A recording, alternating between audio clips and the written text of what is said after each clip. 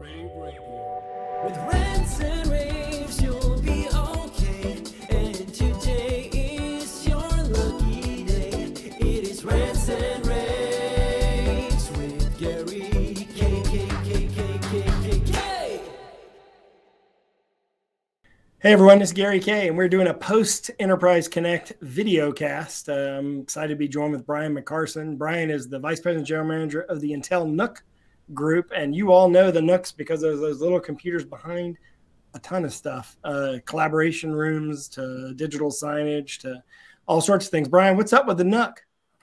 Yeah, we're we're coming on our 10 year anniversary of NUCs this year, um, and these uh, little simple devices just keep growing in performance, growing in features, capabilities, and uh, form factors, and continuing to gain in popularity. And we have uh, quite a few exciting new things that are next for these next units of compute. Uh, that we've been launching this year and have more exciting stuff planned in the coming months. But Well, those things have been me. used for years as in-room PCs for collaboration systems, as digital signage, media players, and as uh, in uh, purpose-built computers, uh, kiosks to even in-room computers um, in classrooms. What are some of the new features? I mean, I, I noticed the there's more outputs and more ports on some of the newer units than I've seen in the past. What are some of the new features that, that have been that are kind of new to 2022? Yeah, great question. I mean, it's remarkable that uh, something as small and compact as this could uh, uh, could be a 4K output device that uh, and uh, could be also then transported directly into industrial environments for use, actually running machines, doing complex analytic functions. What we're covering right now is a full spectrum of use cases uh, that are are really catching on because of the quality of the product, the industry leading warranty, and the fact that you know the NUC Group spends so much time trying to make sure these things are super easy to use, quiet, affordable, reliable, with all the I/O you need, without taking up as much space.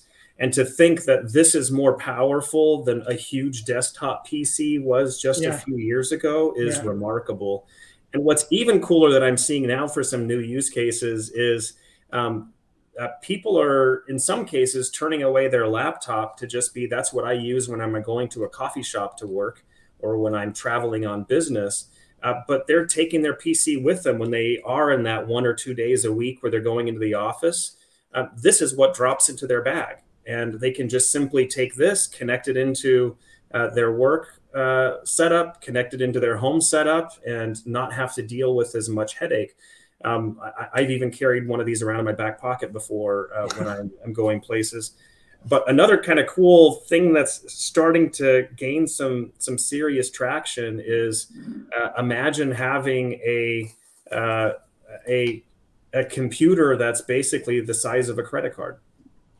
And our our NUC elements, um, this is a complete laptop CPU with Wi-Fi and memory all built into Wow. the same card.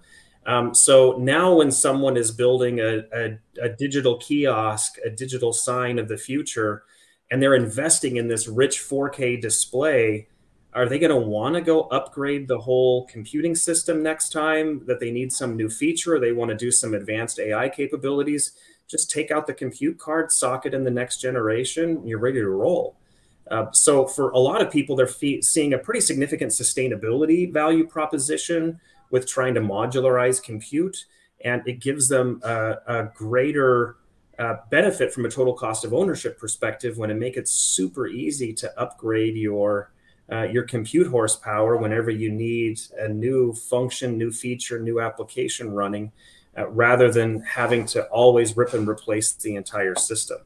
So those are some new cool things that are happening. One other cool thing you might get a kick out of is uh, we're seeing a lot of uh, different um, companies take our our compute chassis and put them in innovative form factors, so you can add some style and pizzazz to uh, to what you're doing on your It, it kind of reminds me of the hi-fi industry 20 years ago or 30 years ago where Yeah. people are taking stereo systems and, and building a cool factor around them. Exactly. This is a company out of Europe called Blue Jour, and this is actually, you know, hand carved. Uh, I believe this one is maple.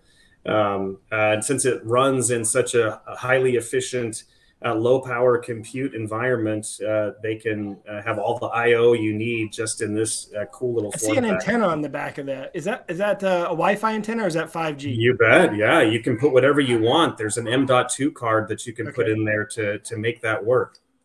Yeah, and I think that's going to be that's that is going to translate into mete- meteoric growth for your team, uh, 5G, because we're you know the the complexity of the network's always been complex, but Absolutely. 5G really sort of changes changes the landscape, doesn't it? That's right. Yeah. You your team sees a wide vision of or wide segment of all the different markets uh, that computers are sold into, and one of them is digital signage. And I'm curious what your take is on the growth of the digital signage market where we are today. Oh yeah, I see it really exploding. And one of the things that's really uh, interesting to me is how much additional edge compute is going to be needed for digital signage of the future. Um, what's interesting is what if you have a digital sign that adapts to different users that come in front of it?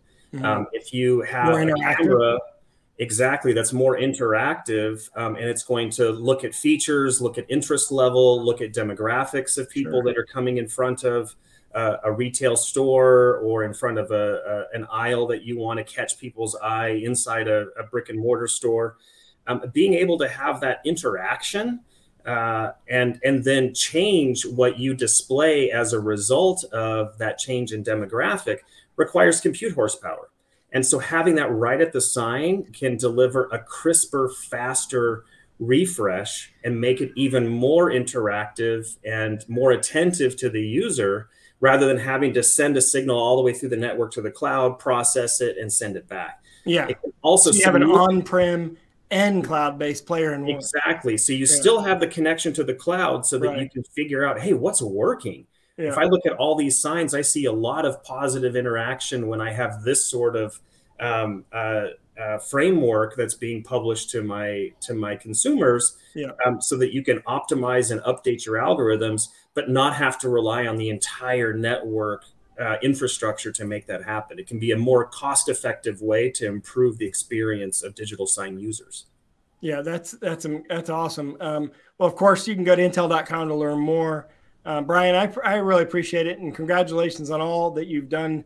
Uh, uh, well, first off, Enterprise Connect, but over the last couple of years in collaboration and in digital signage, and then that little uh, that little card that changes out the compute device inside is just amazing. Yeah, enough compute element. That's Yeah. amazing. That's the NUC compute element.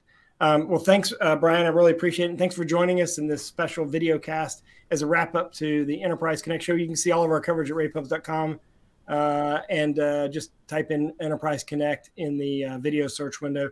Brian, have a great day. Thanks so much. Thanks for your time.